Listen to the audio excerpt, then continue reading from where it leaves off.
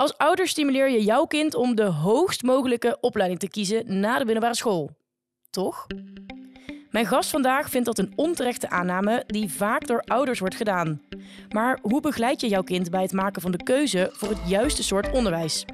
En mocht je kind voor het hoger onderwijs kiezen, welke routes zijn er dan te volgen? Je luistert naar de podcast Begeleiden bij Studiekeuze voor Ouders. De podcast voor ouders van jongeren die een studiekeuze mogen maken. Mijn naam is Eva Eickhout en in deze aflevering worden we meer wegwijs in de verschillende soorten onderwijs die het HBO te bieden heeft.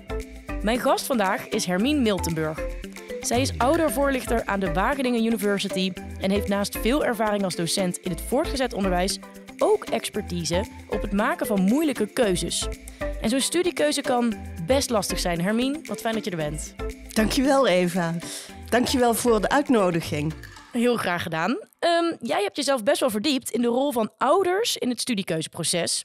En je bent zelf ook moeder. Ja. Hoe was het om jouw kinderen te begeleiden in hun studiekeuze? Nou, wat mij opviel aan je verhaal was dat je zei: ouders willen heel graag dat hun kind gelukkig is en gelukkig wordt en gelukkig blijft. En dat was ook eigenlijk het eerste gevoel dat ik had toen ik mijn eerste kindje kreeg, heel lang geleden. Van wauw, wat is dit fantastisch dat ik dit geschenk heb gekregen. En nou ja, dat hoor ik heel veel ouders zeggen. Het geluk van je kinderen is eigenlijk nog wel belangrijker dan je eigen geluk. Zou misschien niet zo moeten, maar ik voel dat wel zo als ouder. Vaders hebben dat natuurlijk ook, hè? Ja, de meeste wel, geloof ik. Ik uh, ben gepassioneerd lesgever. Ik uh, mocht al lesgeven toen ik 19 was. Nu ben ik 69. Al die jaren heb ik lesgegeven. Fantastisch. Dat is echt fantastisch als je passie kunt ontdekken. En ik dacht ook toen mijn kinderen opgroeiden en studiekiezer werden: van nou, ik kan ze daar best bij helpen. Dat is appeltje eitje met weet, al mijn uh, ervaring. Precies, ik zit al heel lang in dit vak en ik weet de ins en outs. Ja, en ik heb natuurlijk heel veel scholieren en studenten langs zien komen. We duiken er straks even wat dieper op in, op alle verschillende keuzemogelijkheden die er zijn. Ja, maar ik wil nog wel eventjes oh, iets toevoegen. Dat ja. mag, dat mag. Want weet je, toen ik dus als professional erv heb ervaren van dit is het onderwijs hè, en zo Mhm. gaat dat bij anderen. Toen was ik geschokt door de ervaring hoe anders dat voor mij was als moeder. Ik kon helemaal niet meer professioneel handelen eigenlijk. Want het rustig nadenken over hoe kan ik een goede coach zijn voor mijn kind, die stap leek op de een of andere manier verdwenen in mijn hoofd. Ik wou gewoon heel graag dat mijn kinderen het beste kozen. En waar ik me eigenlijk een beetje van bewust werd tot mijn schok, Mhm. was dat ik het beste vond wat ik het beste vond. Mhm. En veel minder wat mijn kinderen het beste vonden. En dat is natuurlijk heel wezenlijk. Dat jongeren ontdekken wat zij het beste voor zichzelf vinden. En dat je als moeder probeert en als vader probeert dat proces te ondersteunen. Ik schrok ervan dat ik zo dacht. En daar heb ik van geleerd. Nou, dat is ook weer heel mooi natuurlijk, dat je er wel Ja. van leert. Ik wil hier straks heel graag meer over horen. Ja. Ehm, maar we duiken eerst heel eventjes wat dieper in op alle verschillende keuzemogelijkheden die er zijn in het hoger onderwijs. Mhm. Ehm, hoe zit het huidige hoger onderwijsstelsel in elkaar ten opzichte van vroeger? Ben jij als luisteraar in elk geval boven de 40 jaar oud, dan is de kans groot dat je zelf gestudeerd hebt in een andere onderwijsstructuur dan waar je kind straks in terechtkomt. In 1999 werd in de zogenaamde Bologna-verklaring besloten dat er een Europees systeem voor hoger onderwijs moest komen. In navolging hiervan werd in het collegejaar 2002-2003 de zogenaamde bachelor-master-structuur ingevoerd in verschillende Europese landen, ook in Nederland dus. Die bachelor-master structuur is er op dit moment nog steeds en moet studenten meer keuzemogelijkheden geven en een flexibeler onderwijs creëren. Het is bijvoorbeeld mogelijk om na je HBO-opleiding een master te volgen op het HBO of op de universiteit. Oh ja, door de bachelor-master structuur vindt er ook meer mobiliteit plaats in Europa, doordat afgestudeerden een vergelijkbaar diploma op zak hebben. Hermine, die bachelor-master structuur, was dat een goed idee volgens jou eh, destijds? Of eh, zijn we inmiddels al eigenlijk weer toe aan iets anders? Ik vond het een goed idee. En ik vind het ook belangrijk dat jonge mensen, trouwens ook wat oudere mensen, kunnen kiezen. Dat ze hun eigen route kunnen kiezen. En het bachelor-master systeem helpt daarbij. Even heel in het kort. Mhm. In Nederland en überhaupt in Europa, kun je twee soorten bacheloropleiding volgen. Een vierjarige bacheloropleiding of een driejarige bacheloropleiding. En dan denk je misschien van, nou, minimaal verschil, maar dat is helemaal niet zo. Een vierjarige bacheloropleiding is een professional bachelor. Die doe je op een HBO of een University for Applied Sciences. Mhm. Ik geef les op het HBO. Geweldig leuk. In wat voor vak? Marketing en communicatie. Oké.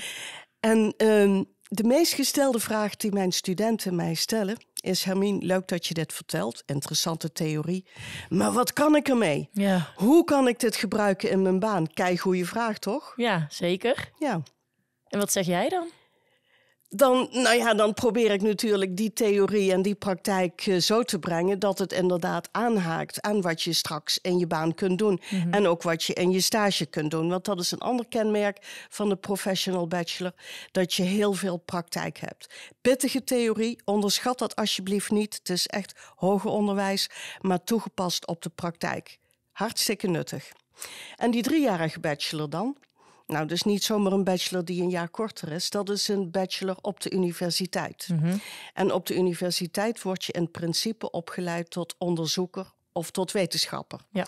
Lang niet iedereen die naar de universiteit gaat, wordt dat ook hoor. En natuurlijk krijg je op de universiteit ook praktische dingen als excursies en, en stages. Maar dat is wat verderop.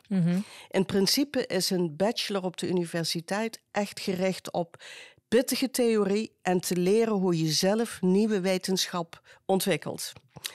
Ik heb ook veel les mogen geven op universiteiten.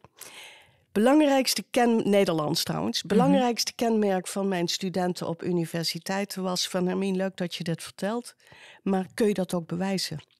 En is er nog meer kennis? En je ziet dan aan mensen van, oh wauw, ze willen zelf meer kennis ontwikkelen. Krijg je dan helemaal geen praktijk op de universiteit? Ja, natuurlijk wel.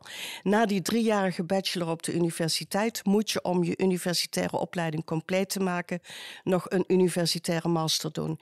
Die duurt één jaar of twee jaar of drie of vier jaar, hangt er vanaf wat je kiest. En wat is nou het leuke van dat bachelor-master systeem? Je kunt een iets andere master gaan kiezen dan je bachelor zelfs in een ander land of in, op een andere universiteit. En studenten die ontdekt hebben tijdens hun professional bachelor, dus de HBO-bachelor, van: oh wauw, ik vind deze theorie fantastisch. Ik wil zelf ook nieuwe kennis ontwikkelen. Die kunnen ook nog naar een universitaire master toe. Er zit wel vaak een maartje aan. Ik adviseer studenten altijd die dat ontdekken, van dat wil ik wel graag. Van neem contact met de universitaire master op waar je naartoe zou willen. Ja. Zodat je in je vrije keuze op het HBO al daar naartoe kunt groeien. Ja. Doe je dat niet, dan kan het zijn dat je nog een half jaar een pre-master moet doen. Klopt. En dat vinden sommige studenten heel moeilijk. Ja. Moet je nou per se naar de universiteit, naar het HBO? Nee, absoluut niet. Nou, want dat was eigenlijk überhaupt een beetje mijn vervolgvraag. Ik kan me heugen Ja. dat ik op de middelbare school zat en dan... Wow, ik ga naar het VWO en oh ja, ik ga naar de oh. HAVO of ik ga naar VWO. Ja, Best wel veel ouders willen ook graag de hoogste opleiding van hun kind. We hebben toch heel erg dat beeld dat dat het beste is. Ja. Zie je dat dan ook vaak gebeuren dat als een kind VWO heeft gedaan... dat het vanzelfsprekend naar de universiteit gaat? Ja, en het gekke is dat studenten zelf dat lang niet altijd van zichzelf vinden hoor.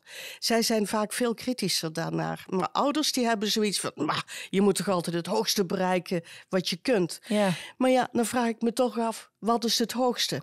En ik zeg nou, ouders denken dat, maar eerlijk gezegd dacht ik dat ook. Oh ja? Ja, serieus. Ik gaf dus al jarenlang les op een universiteit en ook op een HBO. En toen mijn oudste zoon op 6 VWO zat, hij wou iets met ICT. Toen ben ik met hem gaan kijken naar de TU in Twente en ook naar Saxion. Hè, dat is een HBO-opleiding. En toen ik daar die aula binnenkwam van de universiteit en die rector magnificus praatte tegen mijn zoon. Ik weet zeker dat ik toen een andere uitstraling had als dat ik op Saxion was. Gelukkig heeft mijn zoon voor Saxion gekozen, hè? want dat paste veel beter bij hem. Maar dat was ook weer zo'n momentje dat ik schrok van mijn eigen onbewuste, eh, mijn eigen onbewuste reacties als moeder. Maar waar En- kwam die reactie vandaan dan, denk je? Nou, ook wel van, ja, universiteit is belangrijker dan HBO. Slaat nergens op, maar dat was toch wel iets wat ergens in mijn hoofd eh, zat. En waarom hebben we dat beeld dan, denk je? Ja, het is natuurlijk wel zo dat eh, als je op een universiteit hebt gestudeerd, betekent dat wel iets voor je salaris. Ik ben het daar niet mee Mhm. eens hoor. In het begin is het salaris van een HBO-afgestudeerde en universitair afgestudeerde ongeveer gelijk. Mhm. Maar een universitair afgestudeerde kan wel wat langer doorstromen en Ja. ja, meer geld verdienen. Maar ja, nu heb ik ook zoiets van, ja, wat betekent dat geld nou toch uiteindelijk? ja, goede vraag. Hoeveel verschil maakt dat nou? Hè? Weet je, ik ben zelf ook iemand die ehm, veel veranderingen in mijn loopbaan. Ik heb veel veranderingen in mijn loopbaan mogen uitproberen. En ik denk dat dat heel belangrijk is. Dat je blijft zoeken naar wie ben ik, wat wil ik, wie wil ik worden, wie Ja, wil ik zijn. Ik weet dat ik dat precies niet wist toen ik ging studeren. dat maar vond ik heel dat, lastig. Dacht ik je dat ik dat nu wist? 17, nee, en nog steeds is het inderdaad soms een ontzettende uitdaging. Maar het is wel belangrijk dat we de juiste onderwijssoort kiezen, toch? Ja en nee. Ik denk dat het belangrijk is dat je nadenkt over hoe kan ik gelukkig zijn en hoe kan ik betekenisvol zijn. En dat je vanuit En- die gedachte de beste onderwijssoort gaat kiezen. Is dat wat je Nou, zegt? ja, ja en nee. Ik eh, probeer ouders te stimuleren nu hun kind, als ze nog studiekiezer zijn, hè, dan woont Ja. je kind nog thuis. Van probeer je kind te helpen met het nadenken over die wezenlijke keuzes om vorm te geven aan je leven. Vind ik eigenlijk nog belangrijker dan studiekeuze hoor. Want eh, stel, de luisteren nu ouders hè, met een Ja. kind die een keuze Ja. moet. Wat zou, wat, wat zou je die anders voor, voor tip willen meegeven? Hoe kun je je kind daar het beste in begeleiden? Probeer dat concreet te maken, die grote dingen. Be- probeer bijvoorbeeld tegen aan, aan je kind te vertellen van waar krijg jij nou eigenlijk complimenten over? Dat is een hele gewone vraag, maar jongeren zijn zich daar niet altijd van bewust. Of eh, van, goh, ik zie dat jij heel enthousiast bent als je in het bos loopt. Wat trekt jou nou aan in de natuur? Eh, dus een spiegel voorhouden. Of zeggen van, "Ah, ik zie dat jij altijd in de boeken zit.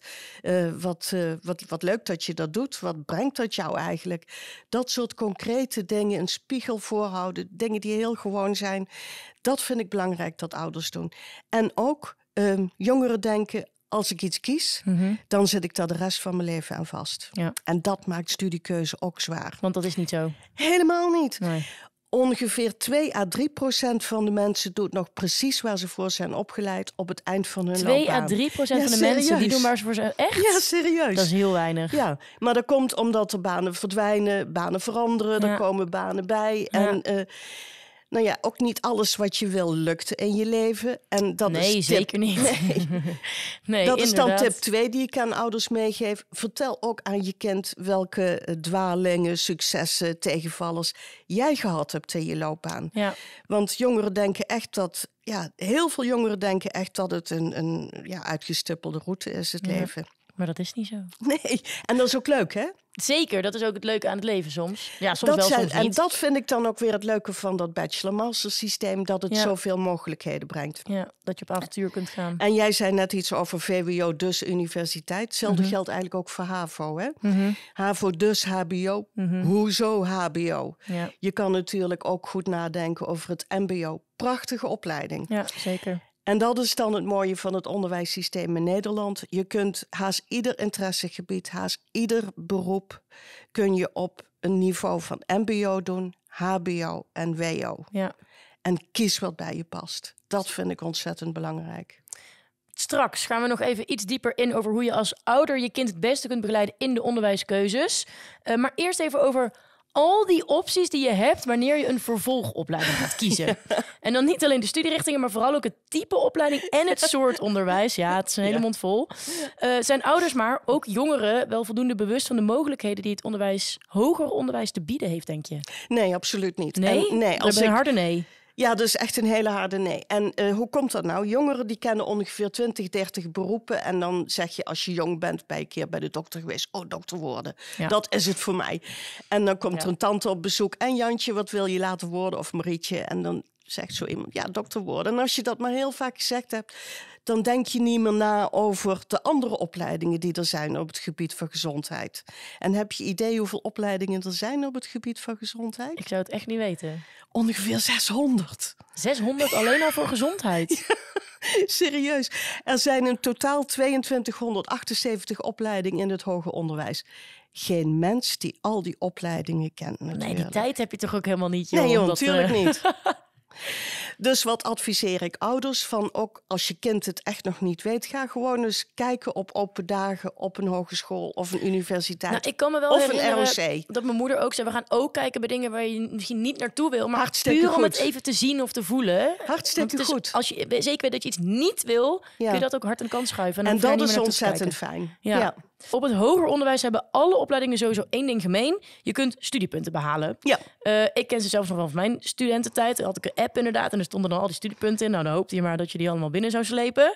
Maar voor de mensen die niet weten hoe dit precies werkt, dit studiepuntensysteem, zou je kort kunnen uitleggen wat het precies is? Ja, het studiepuntensysteem is eigenlijk gewoon een rekensommetje. En Mhm. Als je één studiepunt krijgt, dan betekent dat dat je daar ongeveer 28 uur voor hebt gewerkt. Oh, het staat in verhouding tot uren die je hebt gestudeerd. Gemiddeld, Ah, hè? Oké. Dat bepalen opleidingen natuurlijk. Opleidingen Ja. hebben veel vrijheid in Nederland. Ja. Eén studiejaar op het HBO of de universiteit betekent 60 studiepunten. Dus je moet eh, ja, 60 keer die 28 uur gewerkt hebben Mhm. Om die 60 studiepunten te halen. Dat klinkt allemaal eenvoudig, maar het ingewikkelde is dat je die studiepunten op verschillende manieren kunt halen. Mhm. Je kunt eh, studiepunten halen door hoorcollege te volgen en Klopt. tentamen te doen of door projectwerken Ja. of een excursie of Ja. noem maar op. En dat is dan ook iets wat ik aan ouders meegeef van jongeren kijken vaak naar wat wil ik studeren, maar kijk ook hoe wil ik studeren. Ja. Want als jij projectje- projectwerk verschrikkelijk vindt, moet je echt niet naar een universiteit of een HBO gaan waar je veel projectwerk hebt. Nee. En nou ja, zo is dat bij al die andere dingen ook. Dus kijk inderdaad naar de manier waarop je studiepunten verdient. Want als ik jou zo hoor, dan is het niet dat je op elke hogeschool of universiteit op dezelfde manier studiepunten verzamelt. Nee, nee, absoluut niet. Dat is overal heel anders. Het is overal anders. En ik vind het ook echt belangrijk om instellingen met elkaar te vergelijken. Sowieso van, past deze manier van onderwijs bij mij? Maar ook, heb ik hier een klik? Ja. Pas ik bij deze docenten? Voel Ja. ik me lekker bij deze studenten? Ja, Want je zit er toch vier, vijf jaar of misschien wel zes. ja En- zeker. Dan moet je je wel fijn voelen. Ja, zeker. Ja. Ik kan me ook nog herinneren dat ik ging studeren. En dan is het in het eerste jaar heel belangrijk dat je alles haalt om over te mogen naar het tweede jaar. Dat noem je ook wel het bindend studieadvies. Hoe verschilt dat ook nog per opleiding? Want is dat, moet je bij iedere opleiding 60, volgens mij had 60 studiepunten in het eerste jaar? is dat eh, overal nee, zo? Nee, je kunt 60 studiepunten halen. Maar het is niet zo dat je 60 studiepunten moet halen. Oké, Ook dat mag iedere opleiding zelf bepalen. En dat is dus ook iets om naar te kijken. Hè? ja, en, waarom? eh, nou, omdat als je je bindend studieadvies niet haalt, dan moet je van school af. Mhm. In ieder geval van de opleiding, toch? Van die opleiding. Ja, en die mag je ook niet overdoen binnen drie jaar. Tuurlijk, Nee, klopt. je mag wel een andere opleiding binnen die school Ja, dat bedoelde ik. Ja, Ja. inderdaad. Universiteiten zijn daar heel streng in. Sommige HBO's wat minder streng. Zit wel een gedachtegang achter. Als je in je eerste jaar ontdekt van hé, hey, ik kan dit toch niet, Mhm. of het past niet bij me, dan kun je makkelijk nog aan iets nieuws beginnen. Ja. Heb je natuurlijk een teleurstelling binnen, maar ook iets waar je van kunt leren. Mhm. Maar ontdek je dat in je derde jaar of zo, dan is het haast niet meer mogelijk om alleen ja, om weer opnieuw te beginnen. Ja. Ergens aan je eerste jaar. Dus dat bindend studieadvies, het geeft wel veel stress. Er zitten zeker ook negatieve kanten aan. Mhm.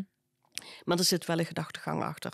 Nou vind ik zelf dat het heel jammer is als het binnen het studieadvies heel streng is. Mhm. Want er zijn inderdaad wel opleidingen die zeggen...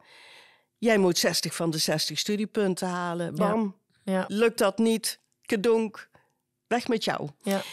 Terwijl het enorm wennen is aan je nieuwe manier van leren, je nieuwe manier van leven. Dus ik vind eigenlijk, ik, ik kan goed begrijpen dat er een minimum aantal studiepunten gevraagd wordt. Ja. Maar ik vind het jammer als het zo hoog is. Ja, je zegt eigenlijk, het is al, je gaat naar een nieuwe school en een hele nieuwe manier van studeren. Het kan ook, dat kan ook de reden zijn dat je je studiepunten niet hebt gehaald. Tuurlijk. Ook al vind je de studie misschien hartstikke leuk Ja, en ben je eigenlijk hartstikke bekwaam. Ja Dus dat ze daar en meer naar mogen kijken. Precies. En natuurlijk ook, hè, je eh, hebt in één keer alle vrijheid van de wereld. Ja joh, dat weet ik ook wel. Ja, ik ook. het was heel anders. Ik bedoel, Geweldig, tot ja. het hols van een nacht naar feest te gaan. Precies, ja. Ja, dan wordt het niet Dat veel is op ook school. studeren, toch? Dat- Ja. Zeker. En dat is ook volwassen worden. En dat is ook belangrijk. Absoluut. Want dat vind ik wel opvallend. Ehm, je leert natuurlijk een vak in het hoger onderwijs, maar je Klopt. leert ook op hoog niveau straks te werken. Nou, dat is het echt. Het is Ja. ook met elkaar omleren gaan. Gaan inderdaad Precies. samenwerken in groepsverband, projecten, verantwoordelijkheden.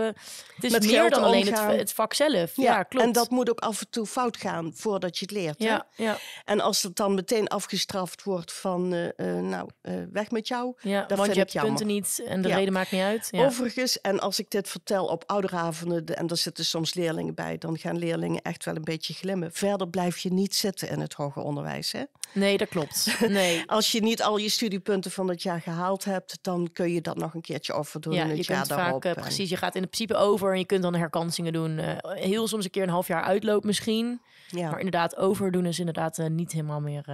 Hey, hier aan de hand zijn er meer dan 70 hbo-opleidingen te Ja. Eh, de meeste scholieren die volgen een studie in voltijd. Dan ben je dus in principe 40 uur per week bezig met school. En in die 40 uur volg je lessen. We hadden het net al over, loop je stage, je doet thuisstudie. Eh, je hebt ook recht op studiefinanciering.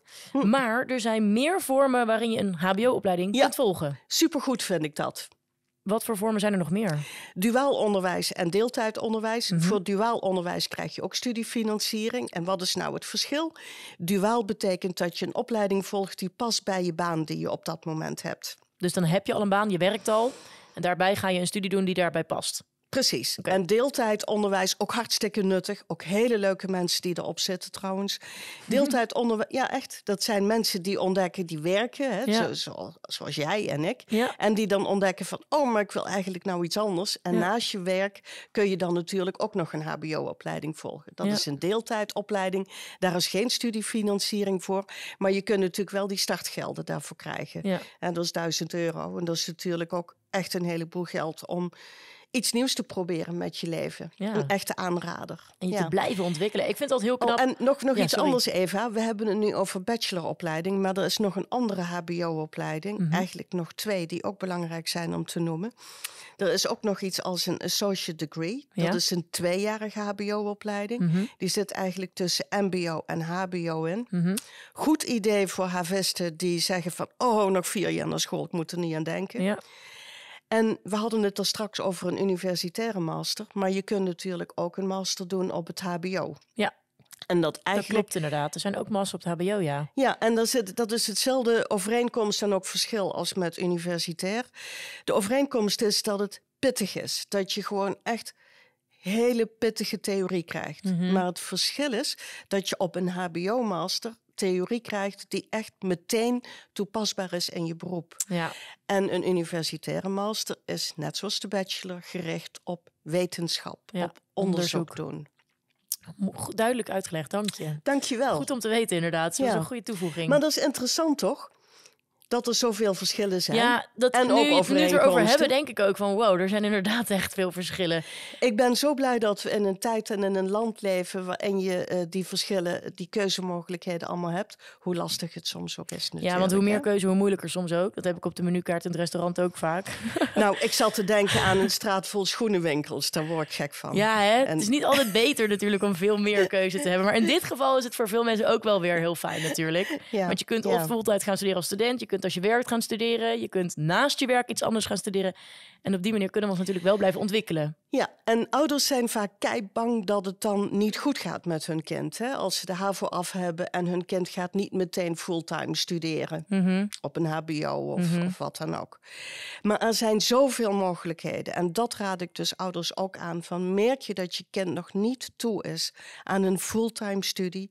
Dwing hem daar dan alsjeblieft niet toe. Nee. Maar praat over de andere mogelijkheden. Ja.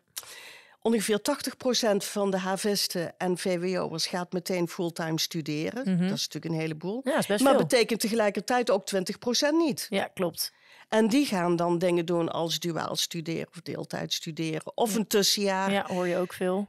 En dat kan ook heel nuttig zijn. Ja. Of gewoon lekker werken en dan in de loop van de jaren ontdekken wat je nog aan cursussen erbij eh, Ja, kunt doen. precies. Precies.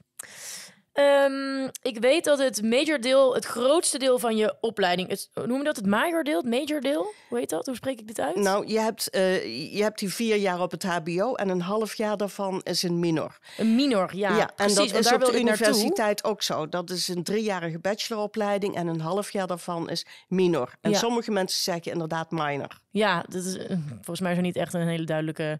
Maar wat, wat is een minor? Ik denk dat dat een hele leuke manier is om ehm, als je ehm, ja, wat volwassener wordt Mhm. en wat meer leert van het leven en ook door het onderwijs meer leert, Ja. om eens uit te proberen van hey, past dat ook bij mij? Ja. Ik heb gisteren nog gepraat met een student die eh, bedrijfs- en consumentenwetenschappen doet, dus Mhm. die echt veel over consumentengedrag leert. En die tijdens haar studie ontdekte van, oh, maar ik vind psychologie eigenlijk waanzinnig interessant. En zij is toen een half jaar psychologie gaan doen. En dat is de gedachtegang achter een minor. Ja. Wij, eh, juffen en meesters, hè, om het maar even plat te zeggen, willen heel graag studenten in aanraking brengen met nieuwe werelden. En dan gebeurt dat dus ook. En dan bij je 17, 18 heb je een bepaald beeld, maar op een gegeven moment ben je 20. Ja. En dan denk je van, oeh, er is nog veel meer te kopen in de wereld. En dan is het een, zo'n minor een mogelijkheid om dat te gaan doen. Maar je kunt de minor ook gebruiken om je nog eens extra te verdiepen in je eigen opleiding. Hè? Dat kan ook. Ja. Dus je kunt verbreden. helemaal vrij om zelf te kiezen, toch? Ja. Helemaal vrij. Kan je ook in het buitenland doen. Ja. Ook dat is natuurlijk hartstikke leuk. En eh, veel hogescholen en universiteiten hebben ook contacten met instellingen in het buitenland. Klopt. En die studiepunten die je dan haalt voor je minor, dat zijn er dus 30, die tellen dan gewoon mee voor je diploma. Ja. Je krijgt er ook studiefinanciering voor. En dan kan je dus zomaar een half jaar in Italië gaan studeren of zo. Hoe lekker. ja, Nou, toch? Ik weet echt nog heel goed dat ik ook een minor moest gaan kiezen. En toen eh, kwam ik per toeval uit bij audiovisueel. En daar is mijn voorliefde voor video Nou, ontstaan. Ja, dat nou heb ik toch. tijdens mijn minor ontdekt. Ja, dat is toch geweldig? Dus ik vond de minor echt... Het, Ja. Ik vond het stiekem het leukste wat er was. Ja, ik vind ook dat onderwijs daar eigenlijk voor bedoeld is. Hoor. Dat je als eh, docent probeert jonge mensen in aanraking te laten brengen met nieuwe werelden, nieuwe Ja. mogelijkheden. En als dan iemand ontdekt van, oh ja, maar dat wil ik ook, dat vind ik ook. Hè, denk aan die 2, 3 procent die nog op het eind nog precies hetzelfde doet. Ja. Je hebt dan wel handvatten om dat ook te gaan doen. Zeker, zeker. Ja, lekker Een soort van grote speeltuin moet het eigenlijk gewoon zijn. Ja, en eh, ik, ik weet wel dat leerlingen af en toe zich heel akelig voelen als ze met hun studiekeuze bezig zijn. Mhm. Maar ik hoor studenten, als ze dus wat verder zijn, toch ook wel vaak zeggen van. Maar ik heb toch wel veel geleerd van die studiekeuzeperiode. En het was toch wel gezellig om met mijn moeder al die steden af te gaan. Ja, dat vond ik ook heel leuk. nou, zie. Ja. En nou zei ik, mijn moeder, vaders, jullie mogen ook mee. Ja. ik heb wel eens aan studenten gevraagd, ja. waar was je vader dan? En toen zeiden die studenten echt heel vaak van ja, die eh, reed de auto. Maar mannen, jullie zijn belangrijk. Nee, en ik weet ook dat ik met mijn moeder ging kijken naar studiekeuzes. En toen was ze ook een beetje jaloers. Want toen zei ze, oh mijn god, er is nu zoveel meer. Ja. En dit is zo anders Ja. dan toen ik ging studeren. Dat hoor ik moeders ook heel vaak zeggen. en ook vaders. Laten we het ook nog steeds bij de vaders houden. Ja, maar ja, maar ik zeg dan wel tegen die ouders van... eh, beste mensen, jullie gaan niet studeren. Nee. Fijn als jij die studie leuk vindt, maar je kind moet die studie leuk vinden. precies. Dat is het belangrijkste. Ja. Ehm, het allerlaatste punt. We hebben het er al eventjes over gehad. Voor ouders die hun kind nu op dit moment goed willen begeleiden met het maken van de studiekeuze. Wat is het allerbelangrijkste advies dat jij ze wil meegeven? Hou je kind de spiegel voor, sta achter je kind, laat ze hun eigen keuze maken, maar kijk wel kritisch mee. Op dit moment is het echt een item van hoe is de kwaliteit van opleidingen. Dat heb je natuurlijk ook in de krant gelezen. Ja. Dat is echt een belangrijk punt. Jongeren kijken er haast nooit naar. Maar dat is echt iets wat ouders kunnen doen. Je kunt niet de keuze maken voor je kind, maar je kunt je kind wel aangeven. Deze opleiding staat steengoed aangeschreven. Of deze opleiding heeft net een wat minder. eh, eh, imago of eh, minder kansen. En dat kun je heel goed opzoeken op studiekeuze 1, 2, 3. Daar staat precies hoe het is met de uitval en eh, de succeskansen van een opleiding. En je kunt dat ook vinden in de keuzegids. Dat is eigenlijk een soort consumentengids voor studenten, leerlingen en ouders. Om te kijken hoe goed staat deze opleiding aangeschreven. Dankjewel, wat een, mooie, een mooi advies. Ehm oudervoorlichter aan de Wageningen University. Dankjewel Hermine Miltenburg dat je hier wilde zijn vandaag. Jij ook bedankt, Eva. Wil je meer weten over onderwerpen als studiefinanciering, de februari-stop, praktische zaken rondom het studenten-OV of studiekosten? Kijk dan op han.nl slash ouders. Vond je dit een leuke, handige of interessante podcast? Vergeet dan niet om ons sterren te geven. Dat kan in de podcast-app waar je ons nu beluistert. Beluister je de podcast op YouTube? Like dan onze video vooral eventjes. En in de volgende aflevering van deze podcast ga ik in gesprek met Shani Mooiman. Zij is docent toegepaste psychologie aan de HAN en gaan we het hebben over misschien wel het moeilijkste moment in het studiekeuzeproces, de grand finale. Je kind gaat de knoop doorhakken en een studiekeuze maken. Ik leer in die aflevering onder andere dat een foute keuze maken helemaal niet bestaat. Je kunt ook een foute studiekeuze maken, toch? Nee. Nee? Nee, een foute studiekeuze bestaat niet. Waarom niet? Nou, omdat ten eerste, er zijn heel veel studies. Mhm. Wat betekent dat er veel meer studies zijn die ook interessant zijn en die voor jou de juiste keuzes zijn. Mhm. Daarnaast is het ook zo dat je kunt gaan studeren en je leert daar heel veel competenties en kwaliteiten. En die kun je op allerlei vlakken inzetten. En ik denk dat in deze maatschappij het ook steeds minder toe doet. Wat uiteindelijk je papiertjes, maar dat het vooral gaat over de skills die je hebt, de vaardigheden die je hebt. Dat je communicatief sterker wordt, dat je zicht hebt op wie, wat ben ik, wie ben ik nou eigenlijk en wat kan ik nou eigenlijk. En dat er ook na deze studie een stap is die je kan maken om te komen tot waar je uiteindelijk wilt. En het kan niet zo zijn dat jij als 16, 17-jarige helemaal weet wie jij bent, wat jij wil, waar je naartoe wilt. Nee. En laten we dat alsjeblieft ook niet van ze vragen. Nee. Dat is iets wat je gaandeweg, terwijl je aan het studeren bent, misschien als je je eerste baan hebt, nou, dan komt er een moment dat je denkt: hé, hey, maar ik merk eigenlijk dat ik meer die kant op wil. Of ik ben stage aan het lopen en nou, ik zou eigenlijk liever dit willen. En zo kom je eigenlijk stapje voor stapje meer bij de kern van wie jij bent en waar je graag naartoe zou willen. Je kunt natuurlijk ook de andere aflevering van deze podcast beluisteren met een andere razend interessante uitzending over hoe je jouw kind begeleidt bij het maken van een studiekeuze. Maar voor nu, bedankt voor het luisteren van deze podcast en tot de volgende keer.